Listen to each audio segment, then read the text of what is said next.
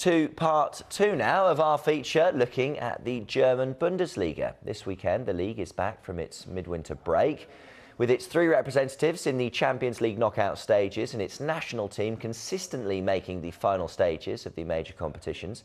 Many look to Germany as football's role model. Supporters across Europe are envious of the prices and facilities in German stadia.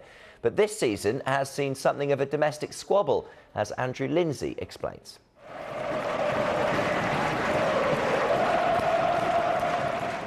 The Bundesliga has Europe's biggest average crowds watching some of the best football, but there's been a distraction. This season, one date has been on the minds of German football fans. 12-12 is on their lips and it's in the news. From summer, they awaited that date in suspense over new security proposals they say threaten football culture. We have a problem with the politicians, um, mainly with these um, who are responsible for, for safety and security in the cities, give a lot of pressure to, to the clubs.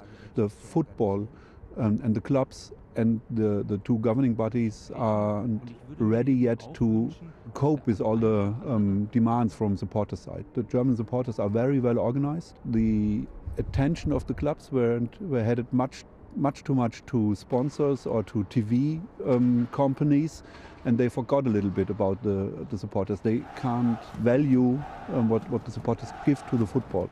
Sometimes they've brought violence, racism, and fireworks. Police want more money, greater power, and fewer opposition supporters. But fans say their sports become a political football in the run up to federal elections. So the people who call themselves the team's 12th man stayed silent for 12 minutes.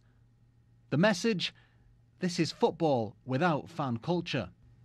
Then they made their presence felt in Frankfurt, travelling for hours to be a collective presence outside the league meeting on 12-12. Different coloured hats and scarves, same opinion. One big threat is the fact that uh, the politicians are, are, trying to, to push in, in here a little bit uh, and, and causing a, a security uh, issue where there really isn't one.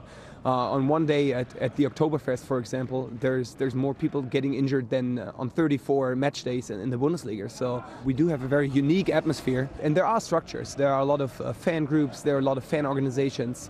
Um, there are a lot of supporters organizations that would be able to to speak for for, for a bunch for for thousands of, of fans, but uh, none of them were involved, and that is a, that's a pity.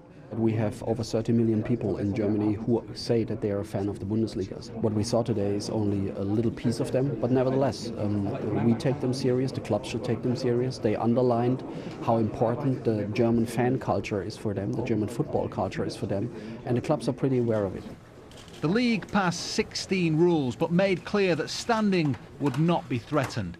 Clubs can reduce the tickets for opposition supporters, but must give good reason, and they'll clamp down on fireworks with increased security, including cameras.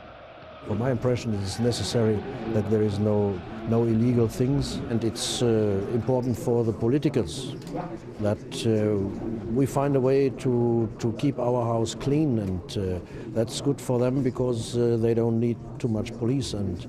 Uh, that costs money, and uh, that's what the politicians want to make sure.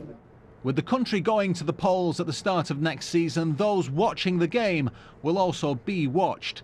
Their power is under threat, but supporters across Europe continue to see the Bundesliga as football's most enlightened model.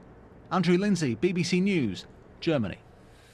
Golf now, Rory McIlroy and Tiger